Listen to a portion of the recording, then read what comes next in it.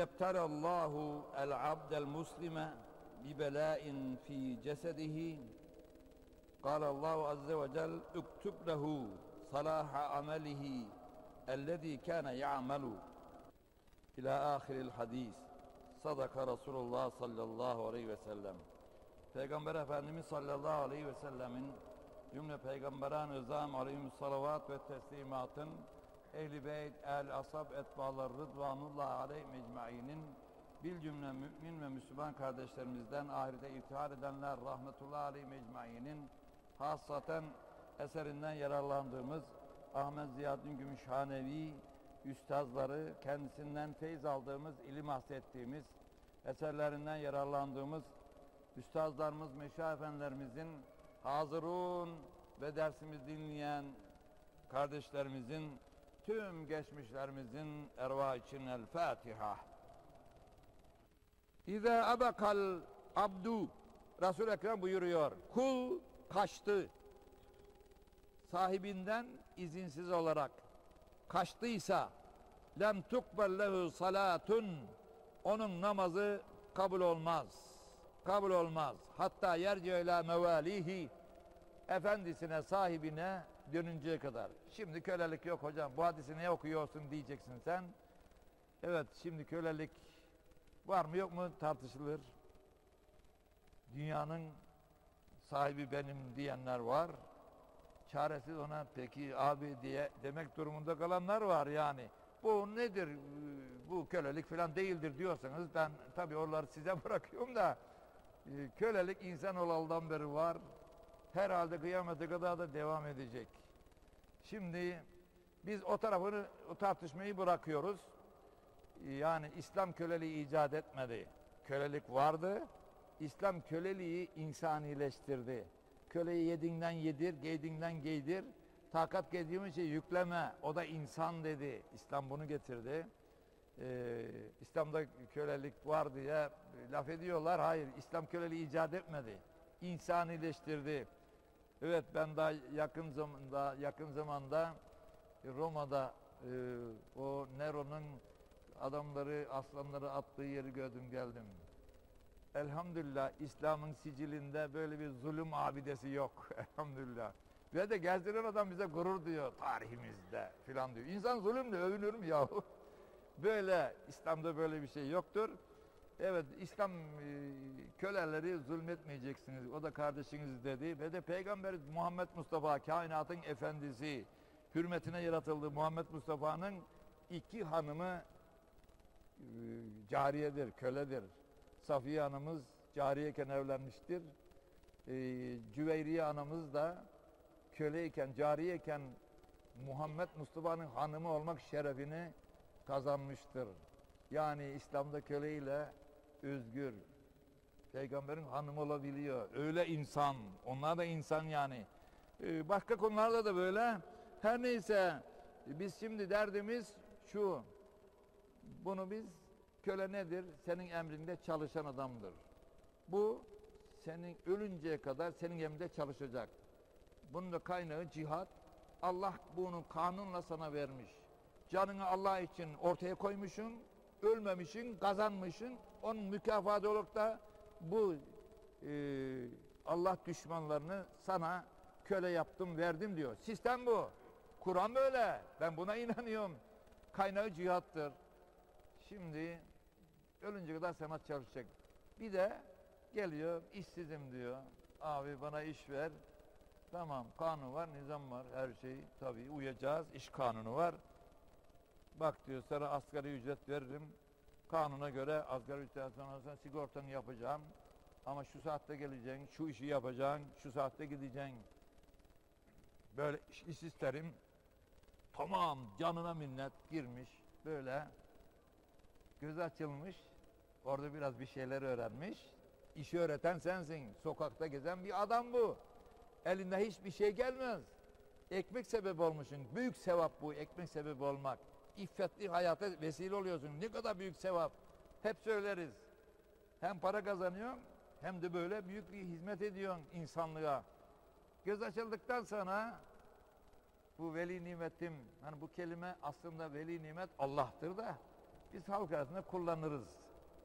Ee, o nimet sebebi oldu ya o işveren. Onun için böyle söylüyor. Müşteri veli nimetim dedikleri gibi. Bu veli nimetim benim diyeceğine artık göz açıldı ya biraz sabır edeceğine o biraz sabretse biraz tabii ona yeni öğretti daha işi. Tam ondan randıman alıp para kazanacakken hemen o bir başkasına gider.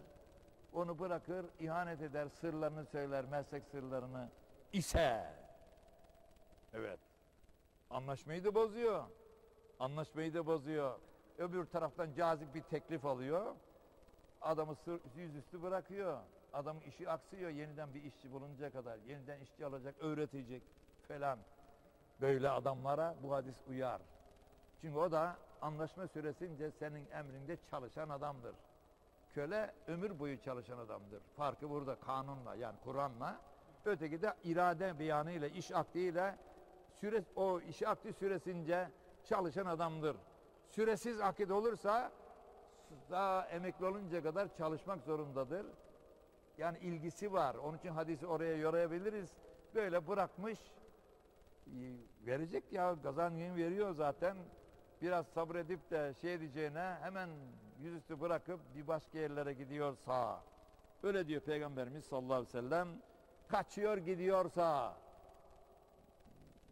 hatta yerce ila mevalihi dönünceye kadar kendine nimet sebebi olan vesilesi olan işverenine dönünceye kadar onun e, Efendimiz buyuruyor ki lem tukbel lehu salatun namazı kabul olmaz diyor. Bunu tabi Peygamberimiz ihanet olmasın diye sert söylemiş. Hadisi şerh eden Gümüşhaneli Hazretleri ve diğer hadis mesela İmam Nevevi bunu helal görürse namazı kabul olmaz diye yorum getirmiş. Ama Peygamberimiz bazen böyle ağır söylüyor. Ee, bizim de yaptığımız gibi. Mesela evinizi dayamışsınız, döşemişsiniz. Güzel halılar sermişsiniz, pahalı pahalı. Helal olsun serin. Hiç dine aykırı değil. Güzel pahalı koltuklar almışsınız. Helal olsun. Hiçbir şeysi yok. Yani peygamber yerde yattı diye sen de yerde yat demiyoruz yani. Helaldan kazan, evini böyle rahat et. Hiç onlar günlük ihtiyaçlardır. O bir kahramanlıktır. O kahramanlığı yapacaksan onu da kötü demiyoruz. Ama bunlar da gayrimeşrudur demiyoruz. Onu söylüyorum. Böyle güzel pahalı halı almışsın. Efendim koltuk almışsın.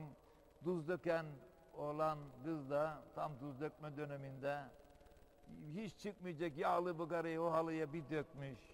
Bıçağı almış koltukları sıradan kesmiş. Anası geliyor. Bir daha böyle yaparsan seni öldürürüm diyor. Bir ana oğlunu öldürebilir mi? Genel olarak söylüyorum. Bazen bu sözü söylüyor. Canı yandı çünkü halı gitmiş, koltuk gitmiş. Öldürürüm seni diyor. Öldüreceğinden mi? İyice korksun da bir daha yapmasın diye. Ama böyle söylediğimiz gibi peygamber de bazen diyorlar böyle sert söyler.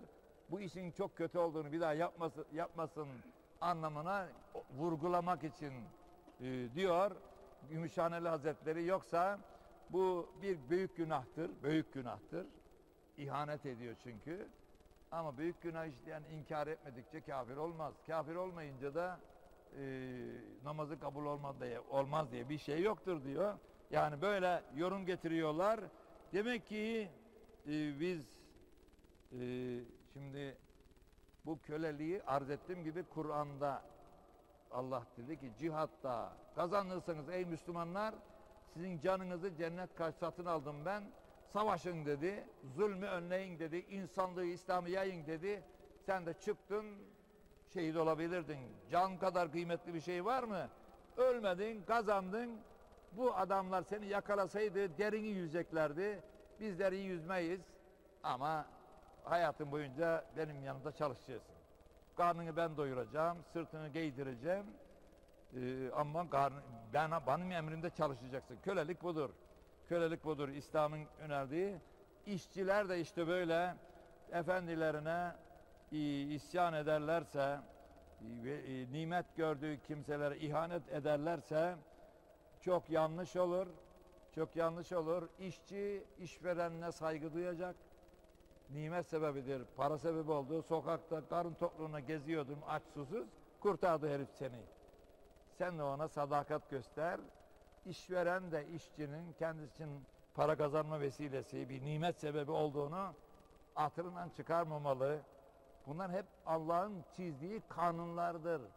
Kimisi işveren yaptım diyor, kimisi işçi yaptım diyor. Hak hukuk yemeyin diyor. İşçinin ücretini teri kurumadan verin diyor. Zulmetmeyin diyor. İşverene de böyle söylüyor, ötekine de böyle söylüyor. Şimdi bunlar Allah'ın kanunudur.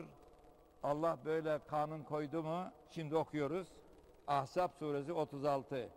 Ve ma kana li mu'minin ve la mu'minetin İza qadallahu ve rasuluhu emra en yekun lehumul khiyaratu min emrihim. Müminler ve mümineler yani mümin erkekler ve mümin kadınlar Allah ve Resulü böyle olacak diye bir kanun koydu mu? Kural koydu mu? Seçimlik hakları yoktur. Onlara uymak zorundadırlar. Muhayyerlik yoktur. Ne yapacaklar? Uyacaklar. Men yasillâhe ve rasûlehu Allah'ın koyduğu kurallara uymaz da Allah'ın emirlerine Resulü Mustafa'sı Muhammed Mustafa'nın emirlerine, sünnetlerine rast çekerlerse fakat dalle dalalen mübine apaçık sapıklığa düşerler. İşte ondan sonra düşmanlar izzetleri kalmaz, hor görürler. Her dediklerini yaptırmak için çullanırlar. Emniyet kalmaz. Dirlik düzenlik kalmaz. Rüzgarları gider, güçleri kalmaz diyor. Peygamberimiz sallallahu aleyhi ve sellem diyelim cümle günahlarımıza estağfurullah.